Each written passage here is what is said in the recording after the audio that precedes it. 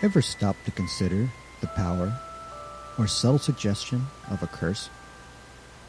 We are used to the image of an old hag of a witch living in an insulated cabin who is frequently visited by an individual seeking a sick sort of justice. Rattle a few bones, stir a steamy pot, and utter a few chosen words, and our victim is cursed. However, fact is sometimes stranger than fiction. Case in point, the famous film director Orson Welles. Some say that he was cursed. Hello, I am author Donald Allen Kirch. This is Stranger Than Fiction. Forget the world you know. Enter a bizarre dimension where the strange and unusual guide your imagination towards the unimaginable. Life is stranger than fiction in these true stories, where the ordinary is replaced with the extraordinary. Explore strange legends, weird myths, and odd folklore. The facts are laid before you to examine. You're invited to draw your own conclusions on these true stories of the paranormal.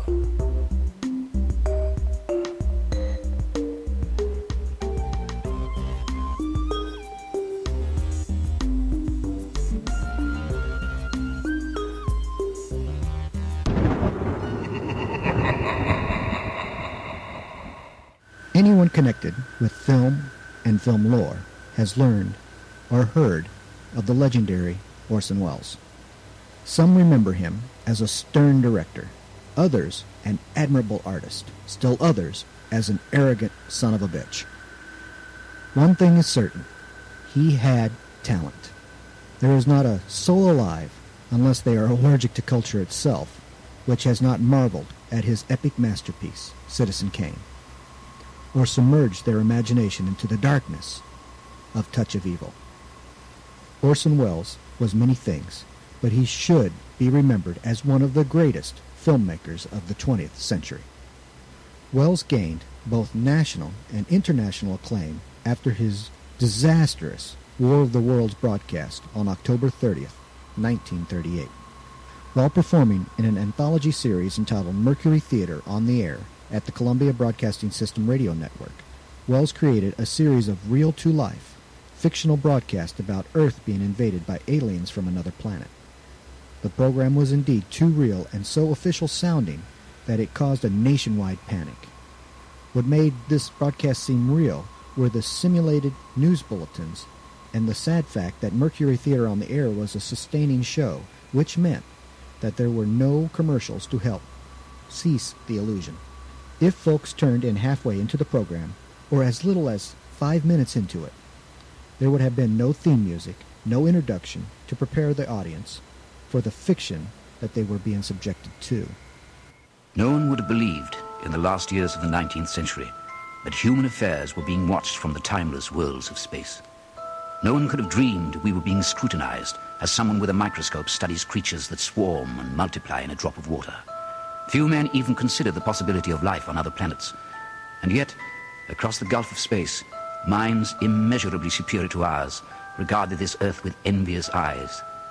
And slowly and surely, they drew their plans against us. As modern day skeptics, we snicker at the foolishness of those unfortunate listeners. Take this into consideration. This was prior to the Second World War. Hitler was fast becoming the nightmare the world would know him to be, and international economics made today's problems look like a cakewalk. The atmosphere for tension was indeed there.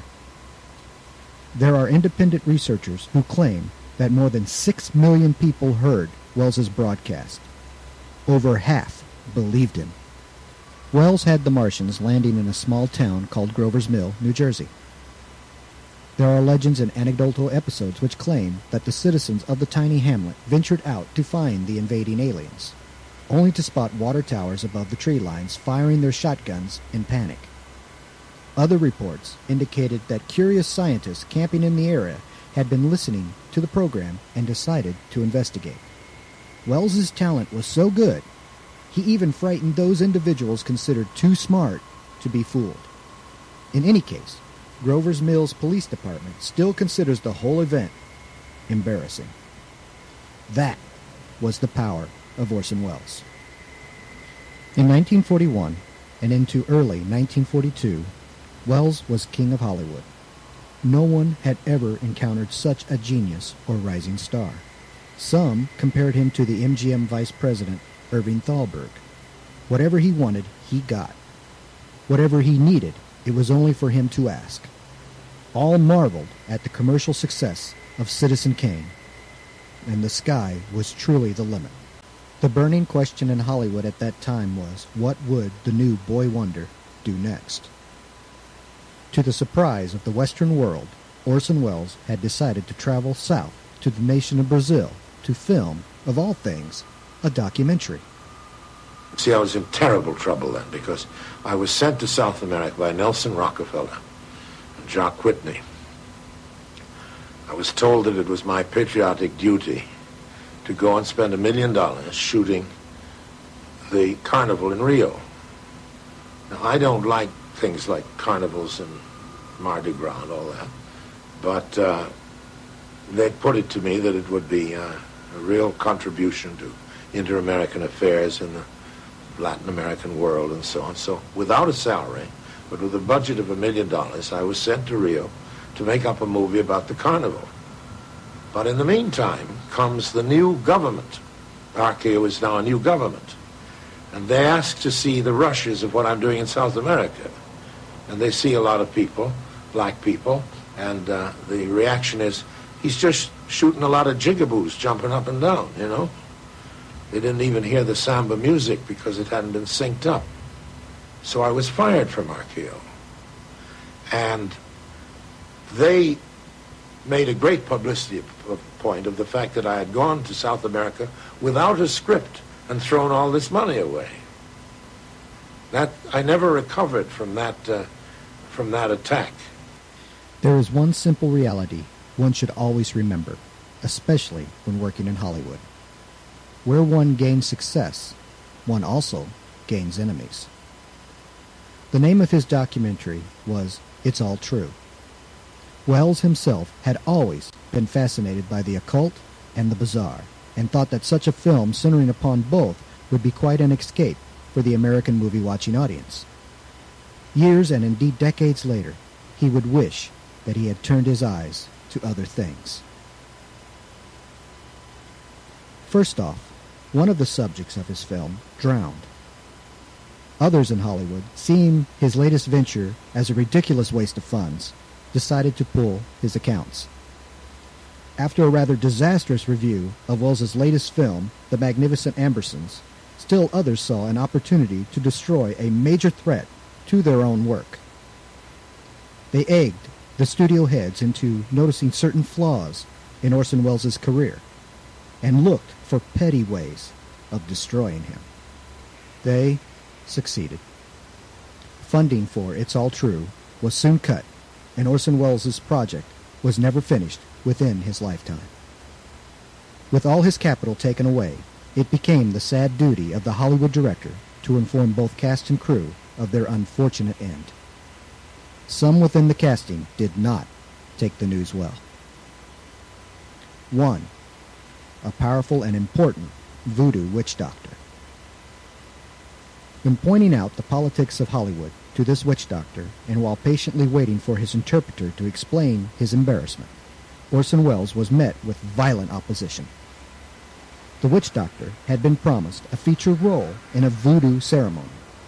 This, of course, was quite an ego boost to the local priest, and I'm sure he bragged about it. Why wouldn't he?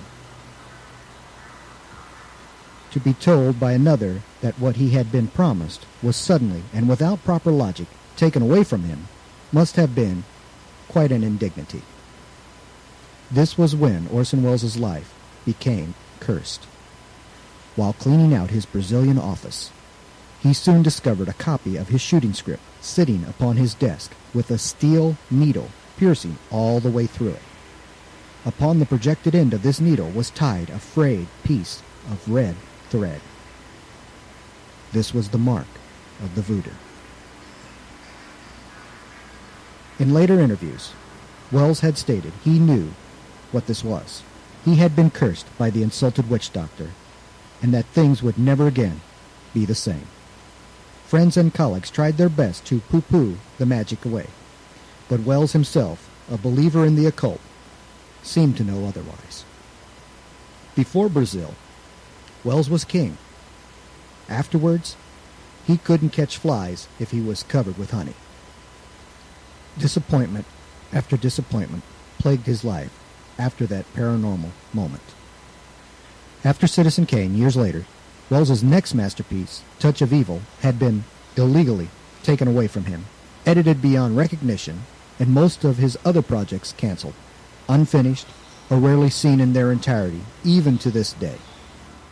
As time passed, the famous director's shine started to leave his armor. Welles became something of an embarrassment to those who once knew him and praised him. He was forced to take on several odd jobs as narrator of B films, doing a series of famous wine commercials, and teaching several actors and actresses the art of theater. Took Beethoven four years to write that symphony. Some things can't be rushed. Good music and good wine. Paul Masson's Emerald Dry. A delicious white wine. Paul Masson wines taste so good because they're made with such care. What Paul Masson himself said nearly a century ago is still true today. We will sell no wine before it's time.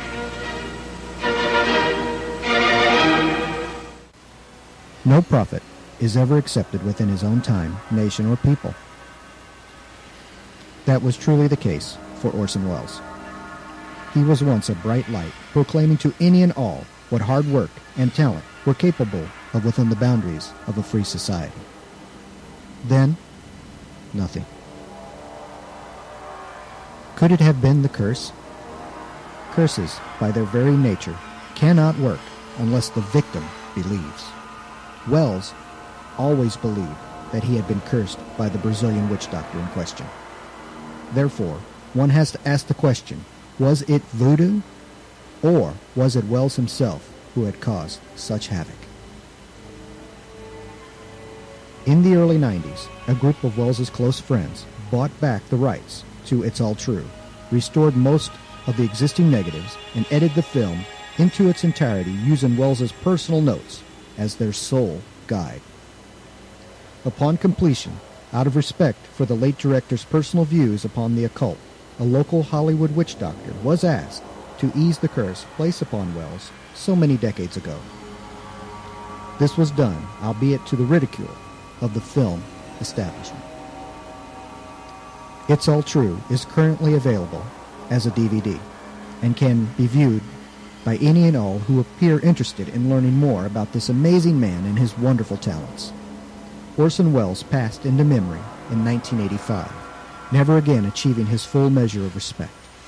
His last job? A voice character in the animated classic Transformers, the movie.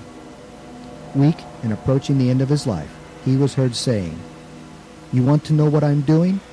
I'm playing a voice of a toy in a useless venture. Here is part of that interview, which was done eight days before his death.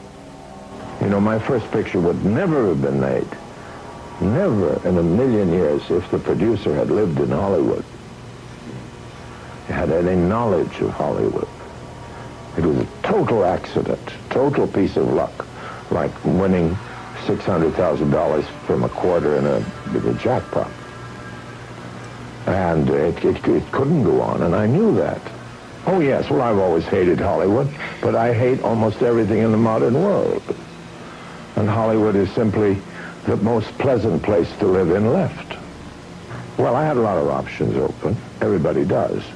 Anybody who's, who has uh, enough sense to make a movie can make a lot of other things.